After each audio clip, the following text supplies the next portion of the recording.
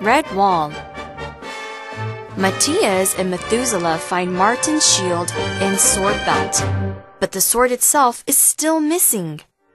At last, they realize the sword should be on the abbey roof. However, the roof is the home of a tribe of wild sparrows.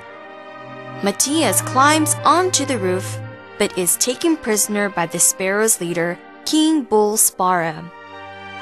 Meanwhile, Cluny tries a number of tricks and strategies to get inside Redwall.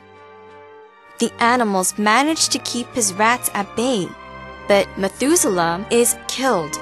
Cluny is angry at his rat's failures and troubled by dreams of a warrior mouse. At last, his rats capture a frightened dormouse, and Cluny comes up with a new plan. On the roof, Matthias makes friends with Warbeak, Bull Sparrow's niece.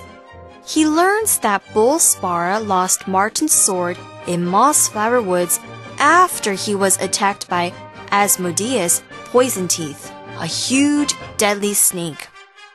Bull Sparrow dies trying to kill Matthias, and Warbeak becomes the Sparrow Queen. Matthias sets off into Mossflower Woods to find Asmodeus and recover Martin's sword.